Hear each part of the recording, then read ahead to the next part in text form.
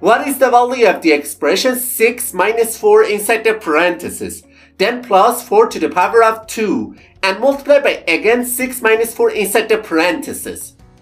Which option do you think is the correct answer to this question?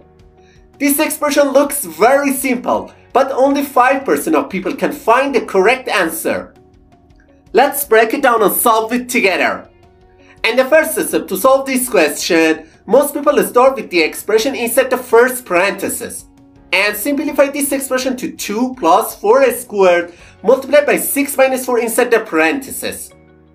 And the next step, they usually move on to the exponent and replace this expression with 2 plus 16 times 6 minus 4 inside the parenthesis. Then they perform the addition between 2 and 16 and simplifying this expression to 18 times 6 minus 4 inside the parentheses. And the final step, they go for the expression inside the parentheses and replace it with 18 times 2, which ultimately gives them the answer 36. And without any hesitation, they quickly say that option C is the correct answer to this question. But I have to say, we were tricked and it's not the correct answer to this question.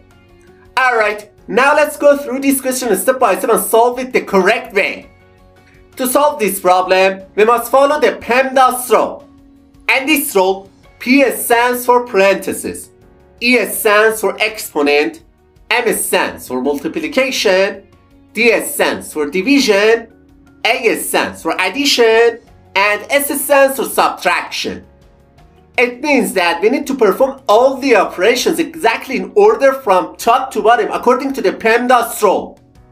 Alright, as you can see on the screen, in this expression, first we have parentheses, then an addition sign, followed by an exponent, then a multiplication, and finally another parenthesis.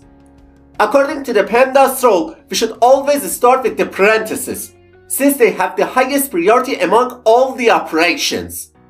So, instead of the original expression, we can rewrite it as 2 plus 4 squared multiplied by 2. And the next step, it's time to handle the exponent, because after parentheses, exponent has a higher priority than the other operations. So, we write this expression as 2 plus 16 times 2. Finally, we need to perform the multiplication between 16 and 2 first, because multiplication has a higher priority than addition. And this expression simplifies to 2 plus 32, which ultimately gives us the answer 34.